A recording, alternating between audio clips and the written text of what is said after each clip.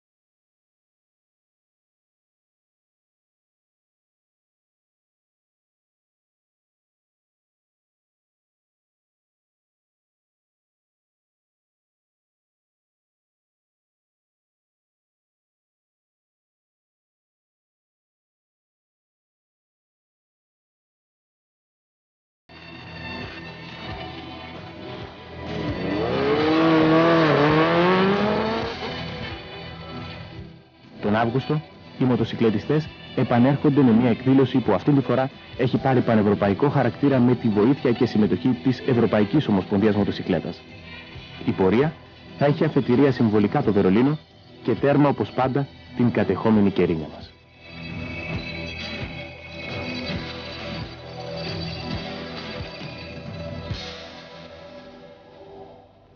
Κυπριακή Ομοσπονδία Μοτοσυκλέτας, με την σύμφωνη γνώμη της Ευρωπαϊκής Ομοσπονδίας, εξήγηλε τη μεγάλη πανευρωπαϊκή αντικατοχική πορεία σε δημοσιογραφική διάσκεψη στις 8 Μαρτίου 1996.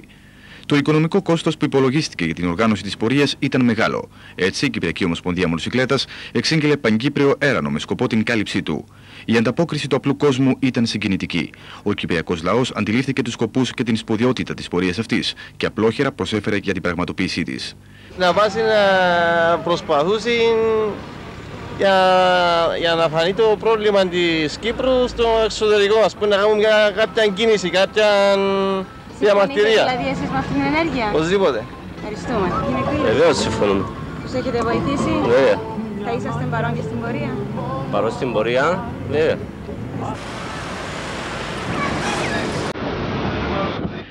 Χαράματα της 31ης Ιουλίου 1996. Οι 20 Κύπροι μοτοσυκλετιστές που επιλέγησαν για να λάβουν μέρος στην πορεία από το Βερολίνο συγκεντρώνονται στο αεροδρόμιο Λάρνακας. Η Κυπριακή Ομοσπονδία Μοτοσυκλέτας φρόντισε όπως προμηθεύσει τα μέλη της που θα λάβαναν μέρος από την αρχή της πορείας με διαφωτιστικό υλικό σε διάφορες γλώσσες, ούτως ώστε μαζί με τους Ευρωπαίους μοτοσυκλετιστές να διαφωτίσουν την ευρωπαϊκή κοινή γνώμη για το πρόβλημα που υπάρχει στην Κύπρο, την μόνη μοιρασμένη χώρα στην Ευρώπη.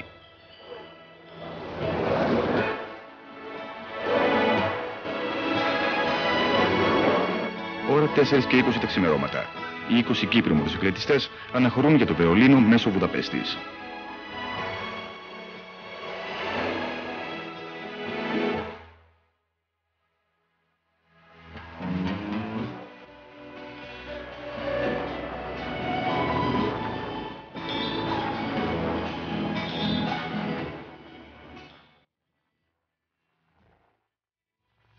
Αϊπνοί κατά τη διάρκεια της νύχτας, οι μοτοσυκλετιστές φτάνουν στη Βουδαπέστη, όπου περιμένουν για δύο ώρες μέχρι ότου αλλάξουν ένα αεροπλάνο για το Βερολίνο.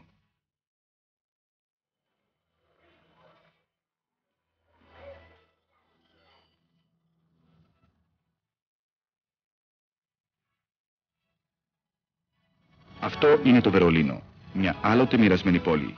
Η πόλη αυτή όχι τυχαία επιλέγηκε για να φιλοξενήσει την εκκίνηση της μεγάλης πανευρωπαϊκής αντικατοχικής πορείας. Το μήνυμα είναι ξεκάθαρο. Βερολίνο και Ρήνια.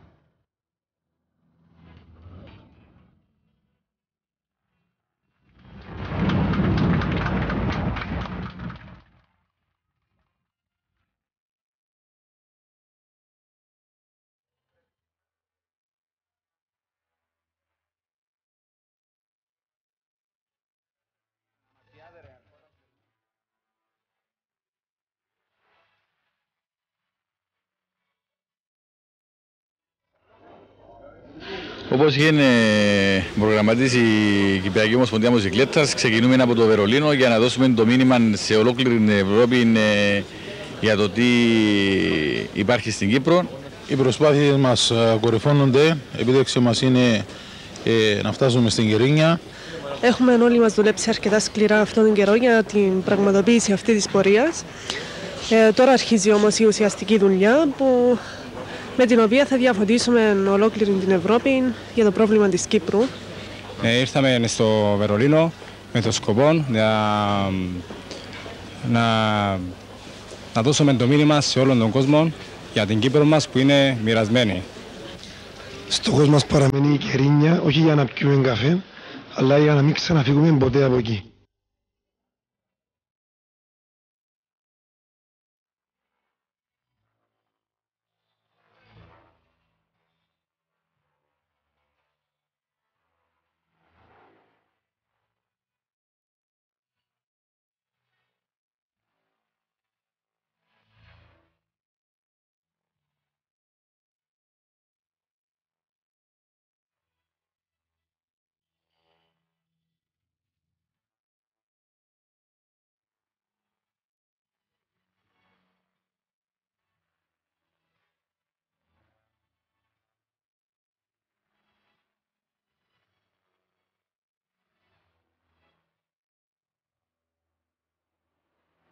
Κύπροι μοτοσυκλετιστές είχαν την ευκαιρία να περπατήσουν για λίγο στους δρόμους του ενωμένου πλέον Βερολίνου. Το ελληνικό στοιχείο δίνει και το έντονα του παρόν του. Εν τω μεταξύ αρχίζουν να καταφθάνουν και οι Ευρωπαίοι μοτοσυκλετιστές που θα ενώσουν τη φωνή τους αλλά και τα κυβικά τους μαζί με τους Κύπριους συναδέλφους τους. Πρώτοι δηλώνουν παρόν οι Πορτογάλοι. Οι Πορτογάλοι, που να σημειώσουμε, ήταν η μεγαλύτερη ξένη ομάδα αποτελούμενη από 14 μοτοσυκλετιστές, καθώς επίσης και από ένα αυτοκίνητο τύπου βαν, εφοδιασμένο με όλα τα κυριότερα ανταλλακτικά που πιθανώς να χρειάζονταν για τυχόν μηχανική βλάβη.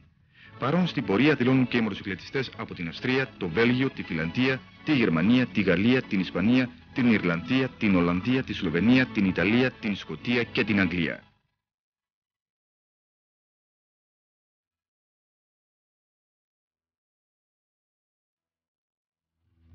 You are German? Huh? From Cyprus.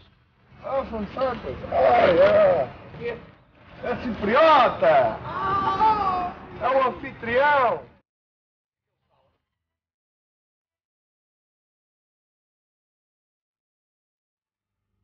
Το βράδυ πριν από την εκκίνηση της πορείας, η Ευρωπαϊκή Ομοσπονδία Μοτοσυκλέτας διοργάνωσε συνάντηση γνωριμίας όλων των μοτοσυκλετιστών, καθώς επίσης και δημοσιογραφική διάσκεψη για ενημέρωση των ξένων μέσω μαζικής ενημέρωσης σχετικά με την τουρκική εισβολή στην Κύπρο.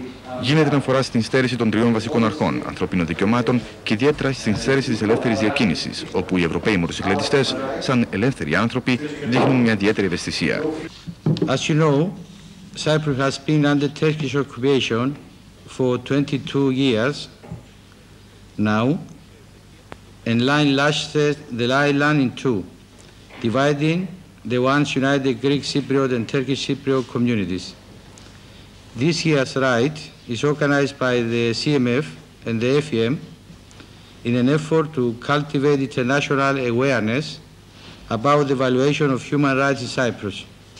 As a result of the Turkish invasion, and Berlin has been chosen as a starting point of the ride due to the fact that it was itself once divided.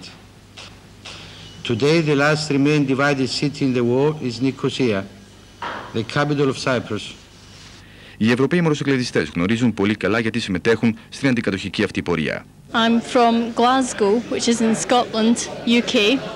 Um, and I came here today because I think the important thing about everybody here is that we all feel very strongly that motorcycles represent freedom and unity.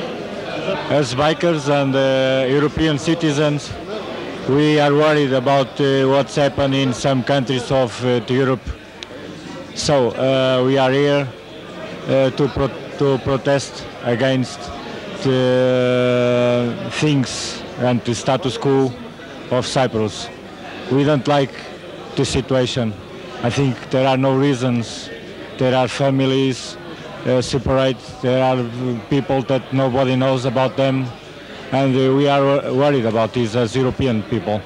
Okay, uh, we think it's very important to be here. Uh, there's four of us have come from Ireland, and Ireland has been divided for a number of years. We know what the Cypriots are dealing with.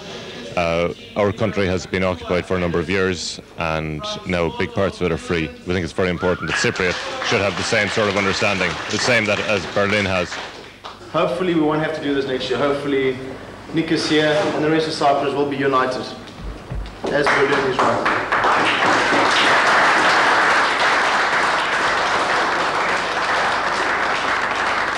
Okay? We have to be up uh, and have breakfast and be ready.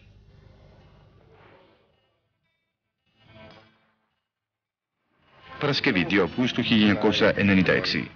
Νωρίς το πρωί οι μοτοσυκλετιστές ετοιμάζονται για την εκκίνηση της πορείας.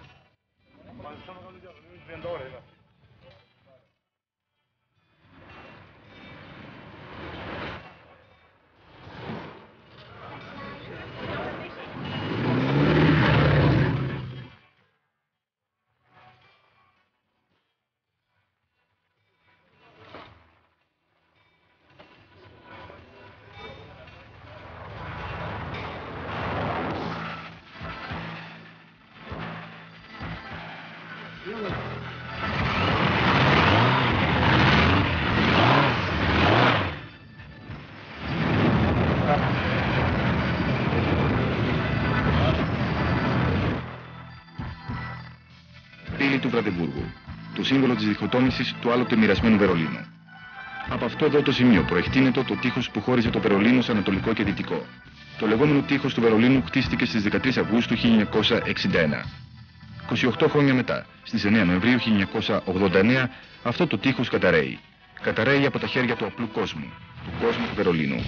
Κάπου αλλού όμως υπάρχει ένα τείχος που χωρίζει εδώ και 22 χρόνια μια χώρα, μια πόλη. Λευκοσία, η μόνη μοιρασμένη πόλη στην Ευρώπη.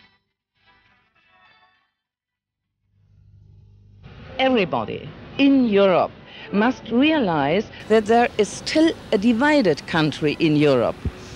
And uh, I hope that this rally will give uh, uh, another signal, a signal to the politicians, to the governments in Europe, that they have to increase their work for a solution for Cyprus and increase the pressure on Turkey, that uh, the Cypriots can uh, live together like the people in Berlin very soon.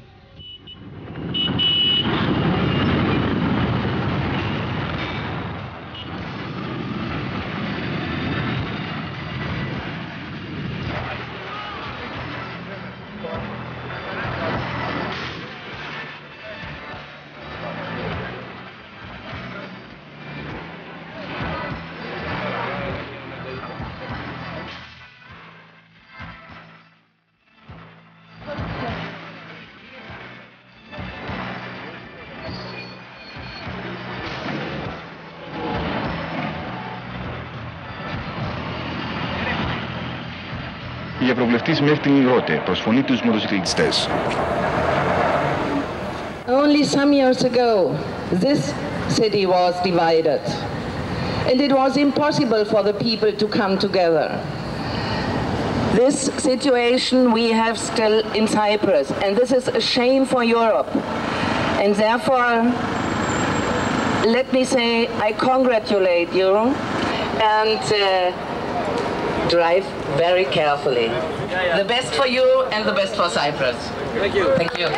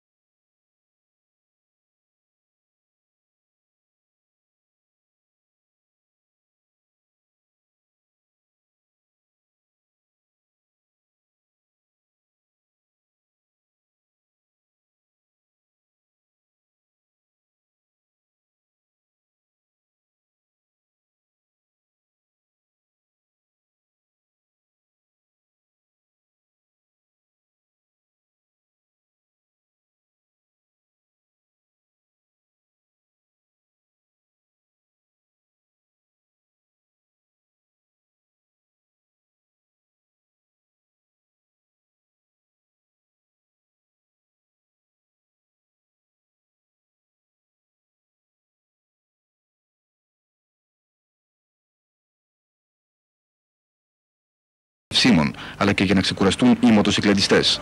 Από εδώ τα σύνορα με τη Τσεχία είναι πολύ κοντά.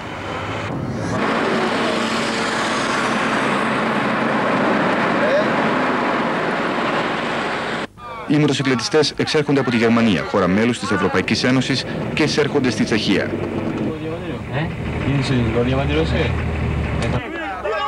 Από τα σύνορα της Τσεχίας στέλνουν το δικό τους μήνυμα. σύνορα μας είναι Συγγερίνια! Τα σύνορα μας είναι Συγγερίνια! Οι μοτοσυκλετιστές κατευθύνονται στη συνέχεια προς την Πράγα, πρωτεύουσα της Τσεχίας, όπου και διανυχτερεύουν.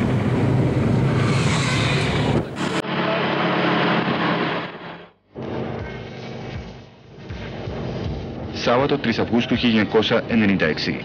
Η πορεία κάτω από συνεχή βροχή εισέρχεται στην Αυστρία με κατεύθυνση τη Βιέννη. Η όμορφη Βιέννη υποδέχεται τους μοτοσυκλετιστές με μια ευχάριστη έκπληξη.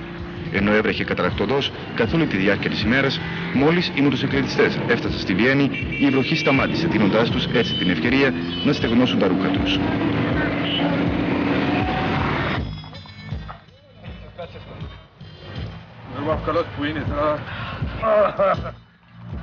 Τους μοτοσυκλετιστές καλωσορίζει και ο πρέσβης της Κύπρου στη Βιέννη, κύριος Μιχαλίδης, καθώς και εκπρόσωπος τύπου της ελληνικής πρεσβείας.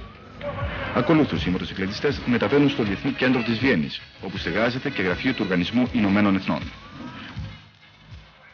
Αντιπροσωπεία αποτελούμενοι από εκπροσώπους των διαφόρων χωρών που λαμβάνουν μέρος στην πορεία, θηροκολεί ψήφισμα εκ μέρους της Ευρωπαϊκής Ομοσπονδίας Μοτοσυκλέτας που αριθμεί 250.000 μέλη. Το ψήφισμα απευθυνόμενο προς το Γενικό Γραμματέα των Ηνωμένων Εθνών τονίζει μεταξύ άλλων ότι η επανένωση της Κύπρου και η υιοθέτηση των ευρωπαϊκών αρχών και ιδεών αποτελούν την καλύτερη εγγύηση για μια ειρηνική και ελεύθερη Κύπρο για όλους τους Κυπρίους. Το βράδυ βρίσκει τους μοτοσυκλετιστές να συνεχίζουν την πορεία τους στους δρόμους της Αυστρίας, με κατεύθυνση τα αυστρο-ουγγρικά σύνορα. Στην Αυστρία είχαμε και το πρώτο μηχανικό πρόβλημα. Η Κυπριακή Ομοσπονδία Μοτοσυκλέτας προνόησε για τέτοιου είδους προβλήματα και φρόντισε όπως αποστείλει αυτοκίνητο τύπου βαν με σκοπό να φορτώνονται οι χαλασμένες μοτοσυκλέτες, ούτως ώστε να μην καθυστερεί η πορεία και με την πρώτη ευκαιρία να διορθώνονται. Στις 11 το βράδυ οι μοτοσυκλετιστές φτάνουν στην Ουγγρική πόλη Γιόρ, όπου θα την νυχτερεύσουν και η οποία βρίσκεται 40 χιλιόμετρα από τα αυστρο-ουγγρικά σύνορα. Η μέρα αυτή ήταν πολύ δύσκολη για τους μοτοσυκλετιστές αφού πέρασαν από τρεις ευρωπαϊκές χώρες, οδηγώντας για μεγάλο χρονικό διάστημα κάτω από συνεχή βροχή.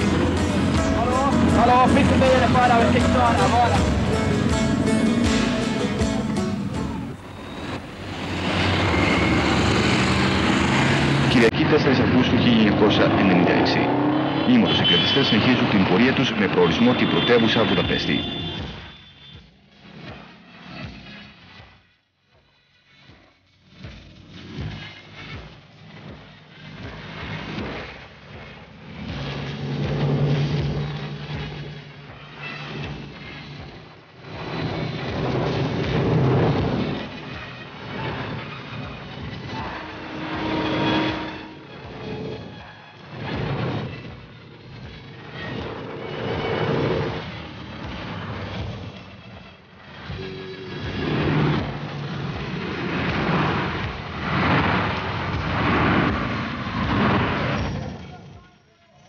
Νέος ανεφοδιασμός καυσίμων.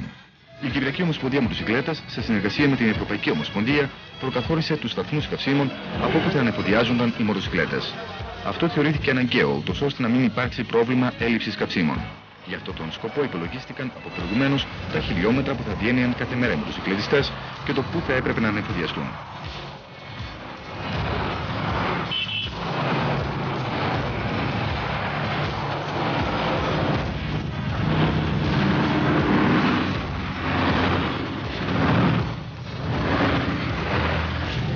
Συνεχίζεται στους δρόμους της Ουγγαρίας και το μεσημέρι φτάνει στη Βουδαπέστη.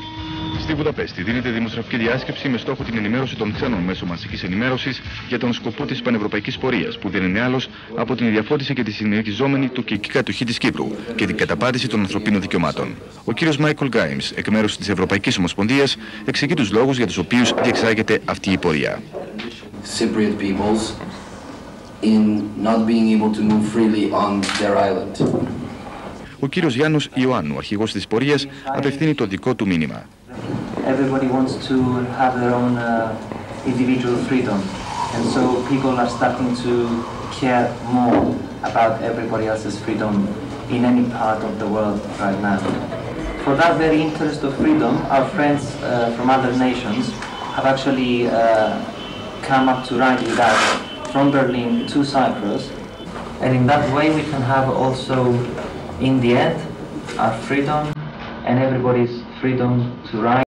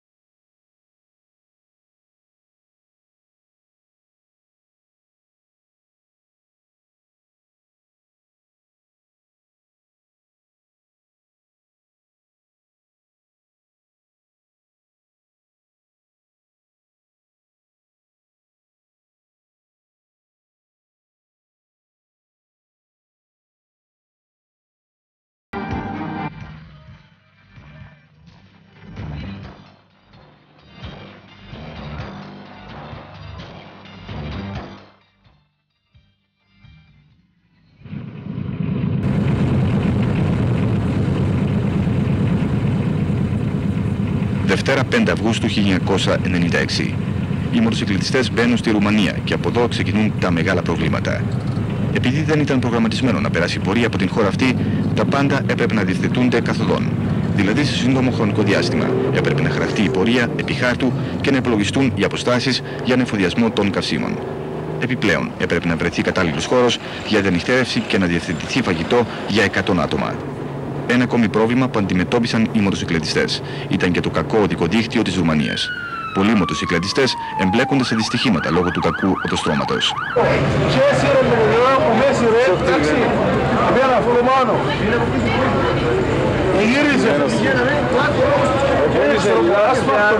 Τελικά στις 11 το βράδυ, οι μοτοσυκλετιστές φτάνουν σε ξενώνα για να διανυκτερεύσουν. Η κούραση και η ταλαιπωρία είναι μεγάλη. Η Ρουμανική αστυνομία που βοήθησε αρκετά τους μοτοσυκλετιστές, βλέποντας τους τόσο ταλαιπωρημένους και κουρασμένους, προσφέρθηκε να αναλάβει τη φρούρηση των μοτοσυκλετών καθ' όλη τη διάρκεια της νύχτας. Μιλώντας την επομένη το πρωί με απλούς αστυνομικούς, μας είπαν ότι ήταν το ελάχιστο που μπορούσαν να κάνουν. Είμαστε κι εμείς ορθόδοξοι, όπως και εσείς μας είπαν. Τρίτη 6 Αυγούστου 1996.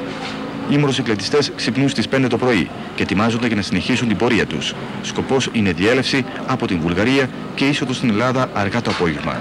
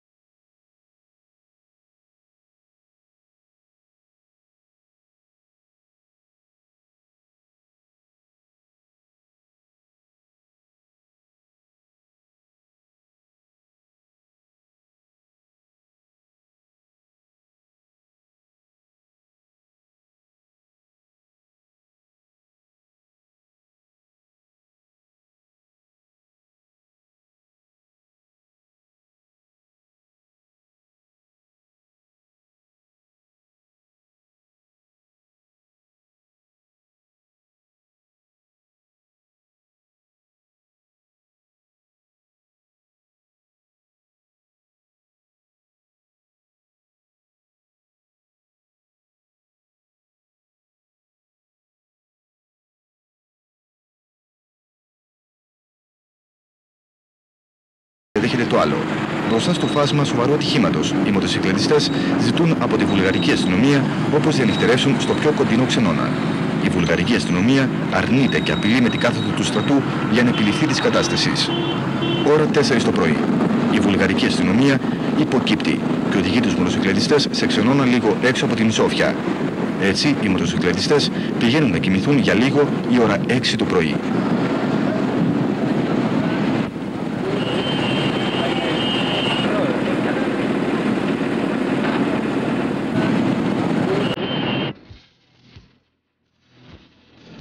Τετάρτη 7 Αυγούστου 1996.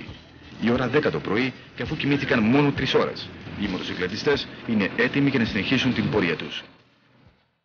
Οι Κύπροι μοτοσυκλετιστές νιώθουν έντονα το αίσθημα ότι σε λίγο θα τελειώσουν όλα τα προβλήματα και οι ταλαιπωρίες, καθώς θα περάσουν τα ελληνοβουλγαρικά σύνορα και θα πορεύονται πλέον σε πάτρια εδάφη. Η αναμενόμενη είσοδος στην Ελλάδα, τη μητέρα πατρίδα, δίνει κουράγιο στους μοτοσυκλετιστές να συνεχίσουν την πορεία τους στην τόσο αφιλόξενη σε αυτήν την περίπτωση Βουλγαρία. Ο έντονος πόθος των Κυπρίων μοτοσυκλετιστών να εισέλθουν στην Ελλάδα μεταδίδεται και στους Ευρωπαίους μοτοσυκλετιστές.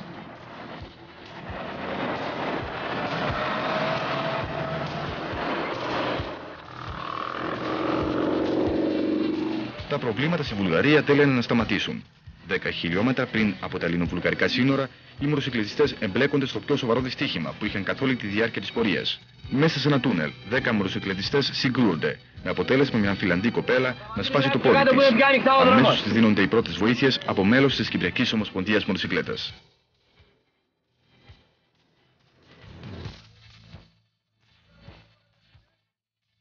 Επιτέλους, οι μοτοσυκλετιστές φτάνουν στην Ελλάδα και η Ελλάδα ανήκει τις αγκάλες της για να τους υποδεχτεί.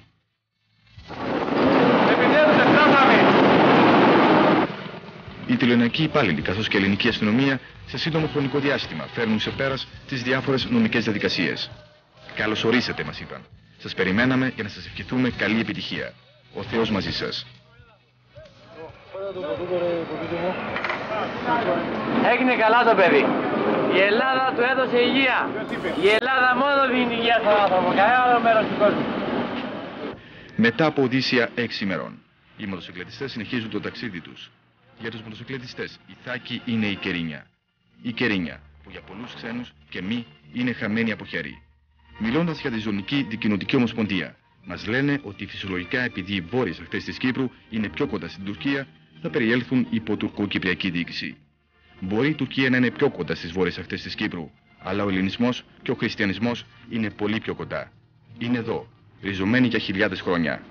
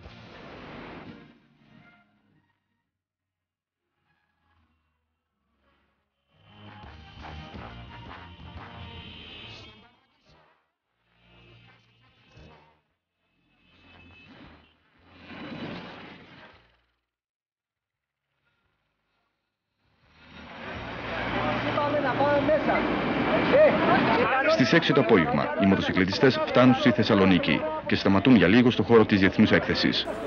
Ο χρόνος πιέζει, αφού πρέπει να βιαστούν να φτάσουν την επόμενη μέρα στον Πειραιά για να προλάβουν το πλοίο που θα τους μεταφέρει στην Κύπρο. Μετά από σύντομο σταθμό, αναχωρούν από τη Θεσσαλονίκη στις 7 το απόγευμα, με σκοπό να διανυκτερεύσουν στο Βόλο. Στο Βόλο βρίσκονται ήδη και Ελλαδίτες μοτοσυκλετιστές από τις Λέσχες Βορείου Ελλάδος. Μαζί τους και οι 20 Κύπροι μοτοσυκλετιστές που μετέβησαν στην Ελλάδα για να ενωθούν με τον κύριο όγκο της πορείας. Εν τω μεταξύ, στη Λευκοσία πραγματοποιείται ευρεία σύσκεψη στο Αρχηγείο Αστυνομίας με σκοπό την καλύτερη διεξαγωγή της πορείας. Αν υπάρχουν στοιχεία τα οποία θα θελήσουν να δημιουργήσουν οποιαδήποτε επεισόδια, δεν θα τους επιτρέψουμε χρησιμοποιώντας όλα τα μέσα που έχουμε στη διάθεσή μας για μια ειρηνική πορεία των μοτοσυκλετιστών. 5η 8 Αυγούστου 1996. Οι μοτοσυκλετιστές φτάνουν στο λιμάνι του Πειραιά στις 2 το μεσημέρι. Η πορεία αριθμεί τώρα 180 μοτοσυκλετιστές, αφού κατά τη διαδρομή από το Βόλο στην Αθήνα συνεχώς ενώνονταν μοτοσυκλετιστές από όλες τις νότιες περιοχές της Ελλάδος.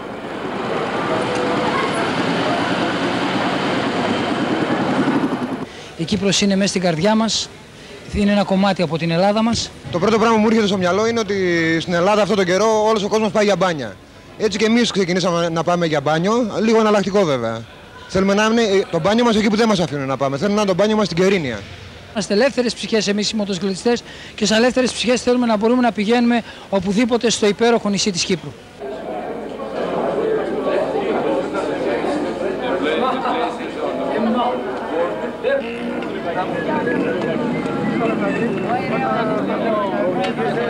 I participated in this uh, adventure from Berlin, once by the city to Cyprus to Nicosia, to point out what uh, the situation is to other bikers in the world, uh, especially those in America, and to advise people in our government of what they're doing by financing uh, the situation in Turkey.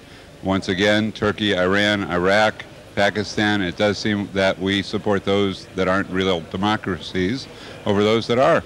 Οι Κύπροι μοτοσυκλετιστές που ήταν παρόν από την αρχή της πορείας, λίγο πριν από την αναχώρηση από τον Πειραιά, δίνουν τις δικές τους εντυπώσεις.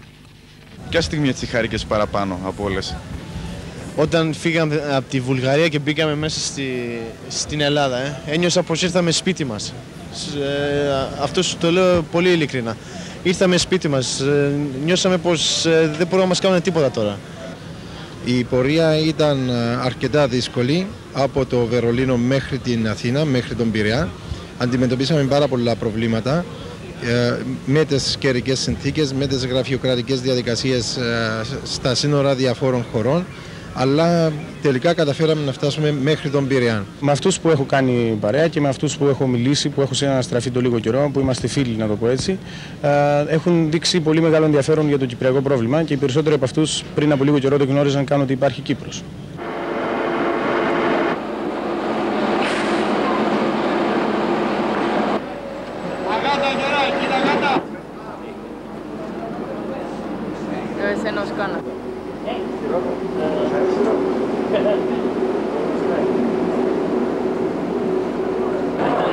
Παρασκευή 9 Αυγούστου 1996. Το πλοίο που μεταφέρει τους μοτοσυκλετιστές σταματά για μερικές ώρες στο λιμάνι της Ρόδου, όπου οι αρχές του νησιού καλωσορίζουν τους μοτοσυκλετιστές. Την ίδια ώρα πραγματοποιείται σύσκεψη στη Λευκοσία μεταξύ του Υπουργού Δικαιοσύνης και Δημοσίας Τάξης και της Κυπριακής Ομοσπονδίας Μοτοσυκλέτας. Παρό στη σύσκεψη και ο Γενικός Γραμματέας της Ευρωπαϊκής Ομοσπονδίας Μοτοσυκλέτας, κ. Σάιμον Μίλγολ, μετά το τέλος της σύσκεψης, ο πρόεδρος της Κυπριακής Ομοσπονδίας Μοτοσυκλέτας αναφέρει τα τρία σημεία από όπου θα επιχειρηθεί η είσοδος στις κατεχόμενες περιοχές. Τα τρία σημεία που είπαμε είναι όλα στη Λευκοσία, το roundabout του Μπάτα, το Λίδρα Palace και το roundabout του Φόρτ. Και δεν θα σα βοηθήσει η αστυνομία να περάσετε; Όχι. Δεν είναι η πρόθεση μας να συγκρουστούμε με τους μοτοσυκλετιστές. Η πρόθεση μας είναι να συνεργαστούμε μαζί μας. Καλούμε τους μοτοσυκλετιστές να δείξουν πειθαρχία να μείνουν σαν ένας όγκος μαζί με την πορεία και η ηγεσία των μοσυκλατιστών γνωρίζει πολύ καλά τι να κάνει. Σάββατο 10 Αυγούστου 1996. Το πλοίο που μεταφέρει τους μοτοσυκλετιστές βρίσκεται λίγα μόνο λεπτά από το λιμάνι της Λεμεσού. Μετά από 9 μέρες και αφού πέρασαν από 7 ευρωπαϊκές χώρες, καλύπτοντας 2.500 χιλιόμετρα, φτάνουν εντός ολίγου στην Κύπρο, την μόνη μοιρασμένη χώρα της Ευρώπης. Γιάννος είναι αρχηγός της αποστολής. Θέλω να μας μεταφέρεις την δική σου εμπειρία από αυτή την ε, περιπετειώδη ε, αναχώρησης από το Βερολίνο και την άφηξη σας τώρα στην Λεμεσό. Λουκά, τι να σου πω, τα έχεις περάσει και εσύ. Ε, πολύ δύσκολη ε, πορεία αυτή. Είχαμε όλες αυτές τις κακουχίες που περάσαμε, οδηγώντας μέρα, νύχτα, χωρίς φαγητό, χωρίς ύπνο, ε, προσπαθώντας να καλύψουμε όλα τα χιλιόμετρα, να περάσουμε από όλες αυτές τις χώρες, να φτάσουμε στην Ελλάδα και μετά να φτάσουμε στην Κύπρο που είμαστε περίπου 20 λεπτά από το λιμάνι και ο ενθουσιασμός είναι πολύ μεγάλος. Ε, με ένα πράγμα στο νου, αυτό που, ε, την ιδεολογία της πορείας που ξεκίνησε αρχικά, την ελευθερία της διακίνησης, ε, σε όλο τον κόσμο και στο νησί μας ιδιαίτερα. Ξεκινήσαμε 20 άτομα από Θεσσαλονίκη, ενωθήκαμε με τους υπόλοιπους από την ελληνική αποστολή, σύνολο γύρω στα 60 άτομα. Ε, πιστεύουμε να πετύχουμε το σκοπό μας σε συμπαράσταση με τους Κύπριους και με τους Ευρωπαίους. Ε, συμπαριστεκόμαστε στο πρόβλημα που έχουν οι φίλοι μας και τα αδέρφια μας οι Κύπροι απέναντι στον τουρκικό επεκτατισμό και απέναντι στην τουρκική αδιαλαξία. Είμαι σίγουρος ότι θα υπάρχει αποτέλεσμα, όχι σύντομο, αλλά μακροχρόνιο και σίγουρα αποτελεσματικό. Δεν έχει κανένας δικαίωμα να μας κλείνει τους δρόμους και τα σύνορα. Όλοι είμαστε άνθρωποι, μοτοσυκλετιστέ, τουλάχιστον αυτή τη στιγμή συγκεκριμένοι είμαστε μοτοσυκλετιστέ και πρέπει να έχουμε ελεύθερη και άνετη μετακίνηση σε όλα τα μέρη και σε όλε τι χώρε του κόσμου. I'm from England uh, and I came on this adventure, this run, to uh, because I think that people should be free wherever they live to be able to go where they choose.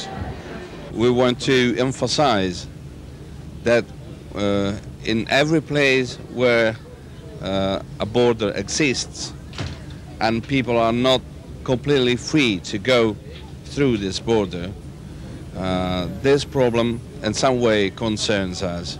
We want to go across the borders in all the world. Οι Κύπροι μοτοσυκλετιστές είναι Κύπροι πολίτες οι οποίοι αγαπούν την πατρίδα τους και θέλουν να προσφέρουν για αυτή στο εθνικό θέμα. Οι Έλληνες της Κύπρου, που από την αρχή στάθηκαν στο πλευρό των μοτοσυκλετιστών με διάφορους τρόπους, προστρέχουν μέσα στο λιμάνι της Λεμεσού αλλά και στους γύρω χώρους για να αποδεχθούν τους μοτοσυκλετιστές που για 9 συνεχόμενες ημέρε διαφόριζαν την ευρωπαϊκή κοινή γνώμη για το πρόβλημα της Κύπρου.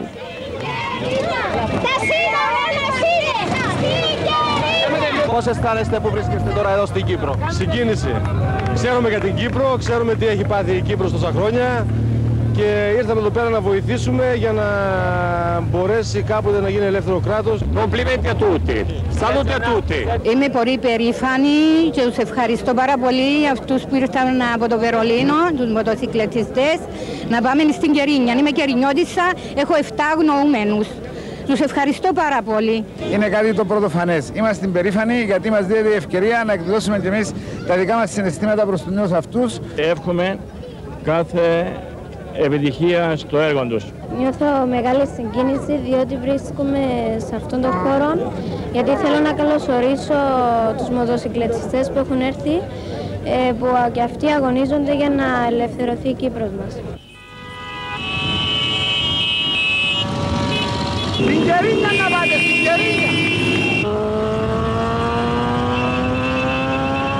Το βράδυ του Σαββάτου, ο πρόεδρος της Κυπριακής Ομοσπονδίας Μονοσυκλέτας καλείται για δεύτερη φορά εντός της ημέρας στο γραφείο του Γενικού Εισαγγελέα της Δημοκρατίας.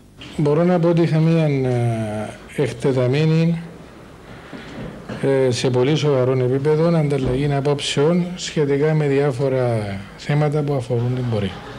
Το μόνο που μπορώ να σας πω τώρα είναι ότι θα καλέσουμε όλα τα μέλη του Συμβουλίου της Ομοσπονδίας μας για συζήτηση ακριβώς του θέματος που είχαμε πάνω από τον Γενικό Εισαγγελέα.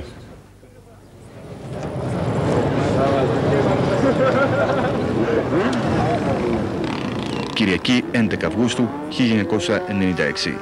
Μετά από πέντε μήνες και τρεις ημέρες, εφότο εξαγγέλθη η μεγάλη πανευρωπαϊκή αντικατοχική πορεία των μοτοσυκλετιστών, όλα είναι έτοιμα για την συνέχιση της επικυπριακού εδάφους. Οι Κύπροι μοτοσυκλετιστές σειραίουν κατά χιλιάδες στους χώρους συγκέντρωσης και αναμένουν με αγωνία να δοθεί η εκκίνηση θέλουν να δείξουν σε ολόκληρο τον κόσμο ότι η πορεία που ξεκίνησε από το Βερολίνο και πέρασε μέσα από 7 ευρωπαϊκές χώρες ελεύθερα στην Κύπρο, την ίδια τους την πατρίδα, τους απαγορεύεται η ελεύθερη διακίνηση από τα τουρκικά στρατεύματα κατοχής. Επιπλέον, οι μοτοσυκλετιστές θέλουν να στείλουν και το μήνυμα προς την πολιτική μας ηγεσία ότι οι νέοι της Κύπρου πραγματικά δεν ξεχνούν. Μοιάζονται και αγωνίζονται για το μέλλον της πατρίδας τους. Οι μοτοσυκλετιστές είναι πανέτοιμοι. Περίμεναν άλλωστε πέντε μήνες για αυτή την πορεία. Οι μηχανές ξεκινημένες. Η εκκίνηση όμως καθυστερεί.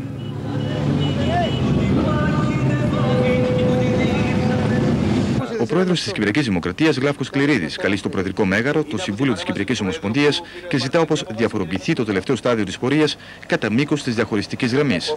Αυτή η απόφαση σας σας αναστατώνει, βλέπουμε κύριε Χατζικώστα, σας λυπεί. Έχει σχέση άμεση με την ε, επιτυχία της πορείας; Θέλω να μιλήσω προς τους Ποιος μπορεί να έρθει σε αντίθεση με τη συναισθηματική φόρτιση των μοτοσυκλετιστών που για πέντε μήνες περίμεναν αυτή τη μέρα και που ήδη δυσανασχετούν για τη μεγάλη καθυστέρηση στην εκκίνηση της πορείας. Το βάρος όλο επομίζεται ο πρόεδρος της Κυπριακής Ομοσπονδίας Μοτοσυκλέτας, Γιώργος Χατζικώστας. Ο άνθρωπος που για πέντε μήνες παραμέρισε τα πάντα για να οργανωθεί όσο το δυνατό καλύτερα αυτή η πορεία.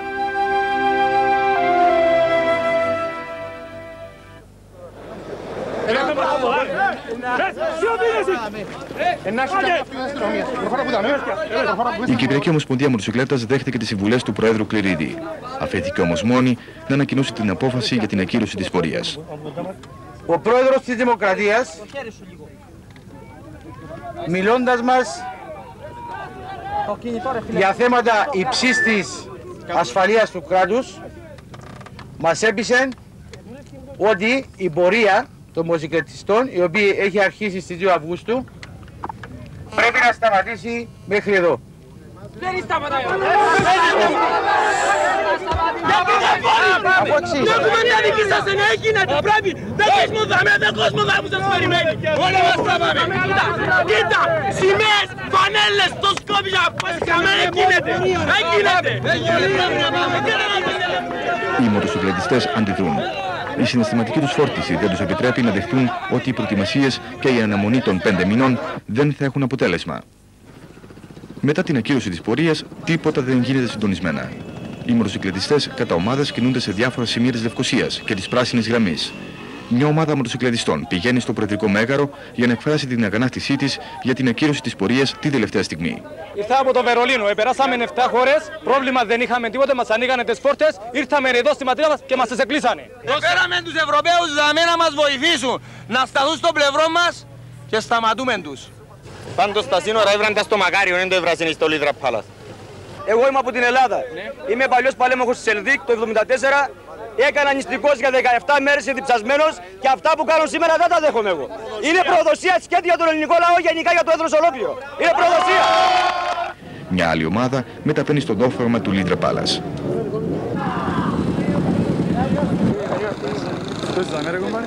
Μεγάλη ομάδα μοτοσυκλετιστών συγκεντρώνεται στο δόφραγμα παρά το Σοπάς. Πολλοί από αυτούς μπαίνουν στη λεγόμενη νεκρή ζώνη. Πάνω από τα κεφάλια των μοτοσυκλετιστών υπερίπταται ελικόπτερο των Ηνωμένων Εθνών, φέροντας τη Γαλανόλευκη. Η πορεία που ξεκίνησε από το Βερολίνο στις 2 Αυγούστου 1996 και πέρασε από 7 ευρωπαϊκές χώρες, ελεύθερα συναντά τον απογορευτικό στόπ στην Κύπρο, τη μόνη διαιρεμένη χώρα της Ευρώπης. Η ελεύθερη διακίνηση στη χώρα αυτή εμποδίζεται εδώ και 22 χρόνια από τον τουρκικό στρατό κατοχής. Ποιος διεθνής νόμος άραγε επιτρέπει σε αυτόν τον ξένο να σταματά δια της βίας τους νόμιμους κατοίκους της Κυπριακής Δημοκρατίας από το να διακινούνται ελεύθερα στην ίδια τους την πατρίδα. Σίγουρα δεν υπάρχει πουθενά τέτοιος νόμος. Υπάρχει όμως κάτι άλλο. Είναι η ανοχή που επιδεικνύουν μερικές από τις λεγόμενες μεγάλες δυνάμεις. Μεγάλες σε στρατιωτική και οικονομική ισχύ, μα μικρές. Πολύ μικρές σε αρχές ανθρωπίνων δικαιωμάτων. Οι μοτοσυκλετιστές έχουν απέναντί τους όχι μόνο απλούς στρατιώτες, αλλά και ανώτατους Τούρκους αξιωματικούς. Μεταξύ αυτών και ο διοικητής των λεγόμενων ειδικών δυνάμεων Ερντάλ Εμανέτ. Μια άλλη ομάδα μοτοσυκλετιστών κινείται κατά μήκος της πράσινης γραμμής από την περιοχή της Δεκέγια. Ο τουρκικός στρατός κατοχής, πάνωπλο, στέκεται εμπόδιο στην ελεύθερη διακίνηση των μοτοσυκλετιστών. Στην περιοχή αυτή βρίσκονται εκτός από τους Τούρκους στρατιώτες και απλοί πολίτες. Είτε αυτοί λέγονται Τούρκοι έπικοι, είτε Τουρκοκύπροι, είτε γκριζιλικοί. Ακολούθως, οι μοτοσυκλετιστές κατευθύνονται προς τη Δερίνια. Στο δόφραγμα της Δερίνιας συγκεντρώνονται επίσης και άλλες ομάδες μοτοσυκλετιστών, καθώς και μεγάλος αριθμός άλλων πολιτών που θέλουν να δείξουν έμπραχτα την αντίθεσή τους στην συνεχιζόμενη τουρκική κατοχή. Εν τω μεταξύ, στη Λευκοσία, ο πρόεδρος της Κυπριακής Δημοκρατίας, Γλάφκος Κληρίδης, καλεί στο προεδρικό μέγαρο για δεύτερη φορά εντός ολίγων ωρών τον πρόεδρο της Κυπριακής Ομοσπονδίας Μοτοσυκλέτας, Γιώργο Χατζικώστα, και απευθύνει μήνυμα προς τον Κυπριακό λαό και ιδιαίτερα προς τους μοτοσυκλετιστές. Οι μοτοσυκλετιστές όμως την ώρα αυτή βρίσκονται ήδη σε διάφορα σημεία της πράσινης γραμμής και το μόνο που δεν κάνουν είναι να παρακολουθούν τηλεόραση και ραδιόφωνο. Ω πρόεδρος της Κυπριακής Δημοκρατίας, αφού, αφού με πολύ ψυχραιμία και με πλήρη συνέστηση των ευθυνών μου απέναντι στον Κυπριακό λαό, στάθμισα όλα τα δεδομένα, κατέληξα στο συμπέρασμα ότι θα έπρεπε να ζητήσω από την ηγεσία της Ομοσπονδίας των Μοτοσυκλετιστών να διαφοροποιηθεί το τελικό στάδιο της επιτυχούς εκδήλωσής τους. Είμαι ικανοποιημένος γιατί η ηγεσία της Ομοσπονδίας ανταποκρίθηκε θετικά και το έπραξε αφού ενημερώθηκε από μέρους μου εκτενώς. Εδεχτήκαμε τις συμβουλές του Πρόεδρου και την αγκυρώσαμε. Λυπούμε γιατί απαγοήτευσα πολύ κόσμο που εστήριξε οικονομικά την πορεία και του ζητώ συγγνώμη. Ξέρω όμως ότι επίκρανα όλους τους μοτοσυκλετιστές που πίστεψα για τη σημερινή πορεία αλλά πιο πολύ τους διαβεβαιώ ότι επικράθηκε το Συμβούλιο της Ομοσπονδίας. Τους ζητώ για αυτούς συγγνώμη.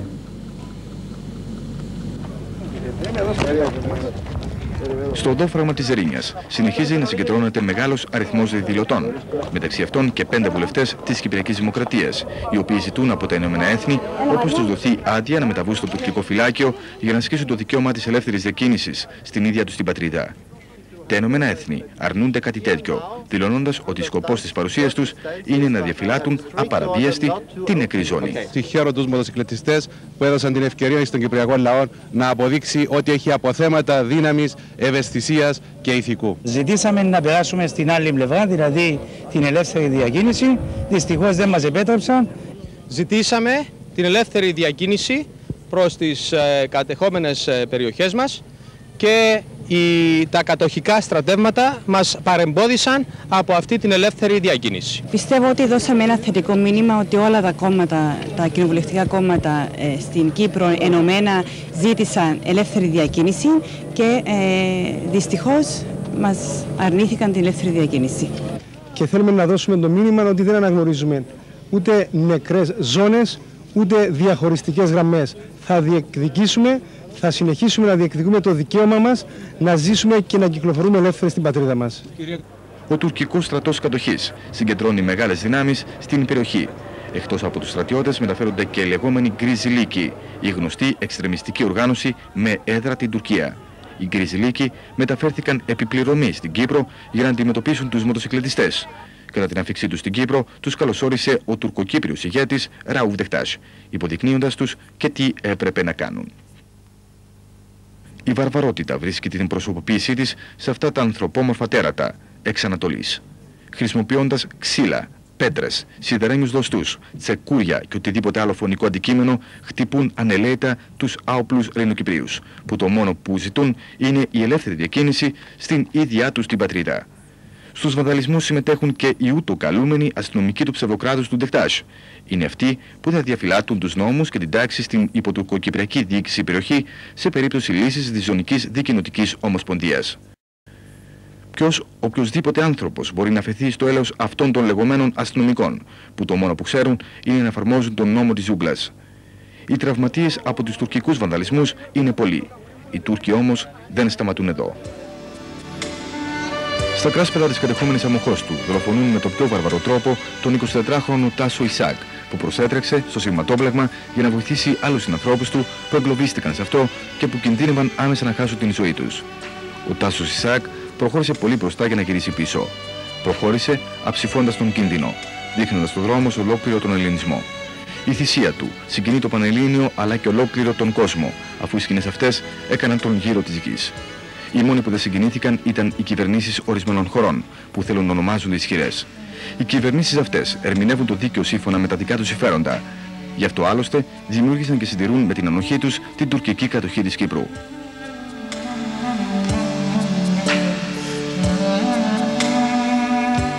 Το βράδυ της ίδιας ημέρας, οι Ευρωπαίοι μοτοσυκλετιστές μεταβαίνουν στο δόφραγμα του Λιδραπάλας.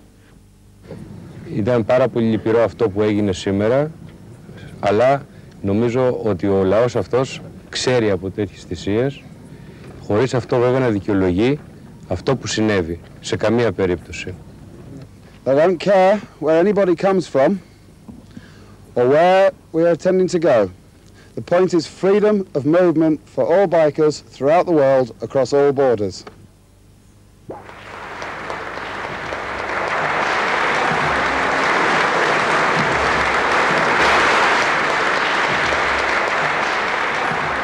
Τετάρτη 14 Αυγούστου 1996.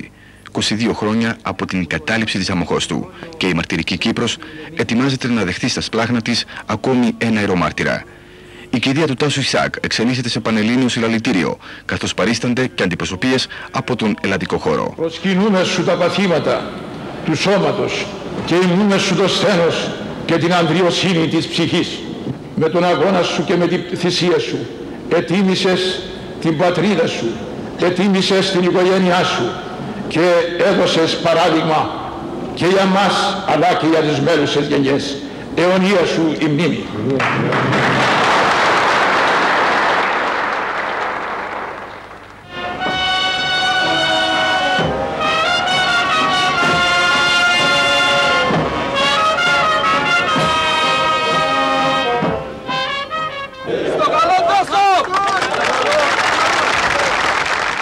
Μετά από την ταφή του ηρομάρτυρα Τάσου Ισάκ, πολλοί κόσμος αισθάνεται την ανάγκη να μεταβεί στον χώρο θυσίας του για να αποτίσει φόρο τιμής.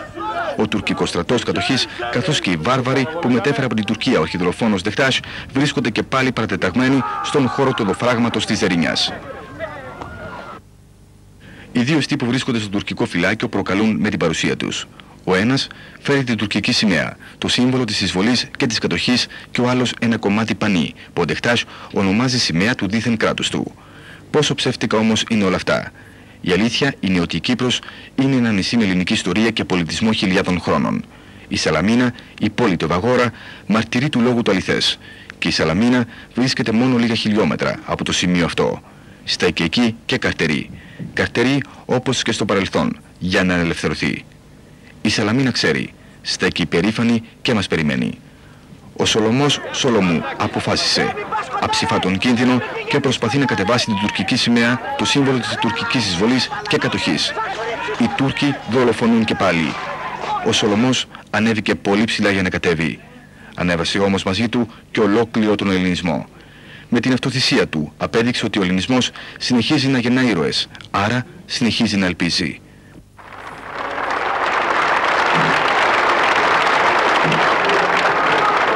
Παρασκευή 16 Αυγούστου 1996. Η Κύπρος ετοιμάζεται να δεχτεί στα σπλάχνα της τον ηρομάρτυρα Σολομό Σολομού.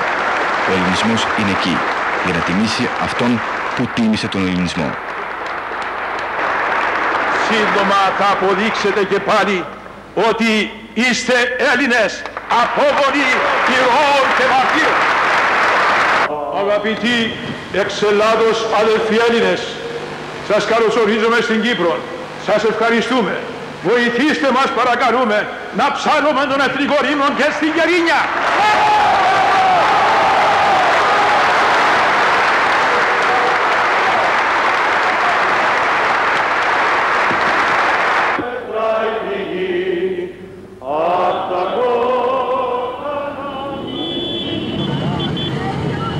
Πορεία των μοτοσυκλετιστών που ξεκίνησε από το Βερολίνο στις 2 Αυγούστου 1996 διένυσε 2.500 χιλιόμετρα. Πέρασε από 7 ευρωπαϊκές χώρες, διαφωτίζοντας την ευρωπαϊκή κοινή γνώμη για τη συνεχιζόμενη τουρκική κατοχή της Κύπρου.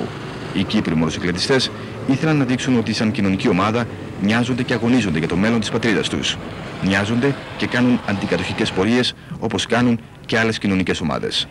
Όπως τις πορείες των προσφυγικών σωματείων, όπως τις πορείες των γυναικών, όπως τις πορείες των φοιτητών μαθητών. Η πορεία όμως των μοτοσυκλετιστών ήταν η πιο μαχητική από όλες τις άλλες πορείες που έγιναν από το 1974. Ίσως γι' αυτόν ακριβώς το λόγο πολεμήθηκε από κάποιους μέχρι και την τελευταία στιγμή. Οι μοτοσυκλετιστές όμως δηλώνουν ότι θα συνεχίσουν τις πορείες τους. Κάνουν βίωμά τους, τους